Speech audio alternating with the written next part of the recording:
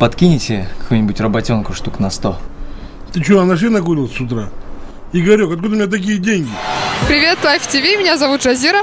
Хотелось бы посмотреть сказ о розовом зайце. А, По предложению моих подруг, казахстанский отечественный фильм.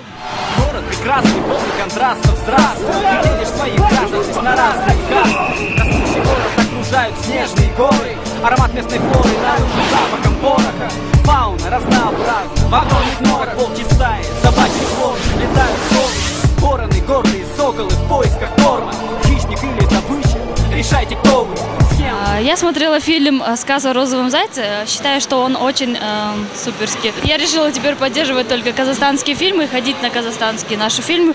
Самый удачный получился это «Сказ о розовом зайце». Там есть смысл, э, какой-то сюжет, есть э, поучение. В этом и есть прелесть нашей жизни. Нам все эти кризисы по боку. Что, опять какие-то неприятности? Я тут полгода назад Жанну машину помял. Только я помню, ты вообще без них жить не можешь. Ну, в этом фильме главное не деньги, а э, любовь.